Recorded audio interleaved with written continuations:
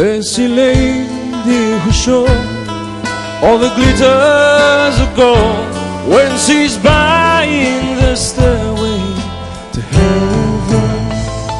When she gets there, she knows when she doors are closed with the words she can get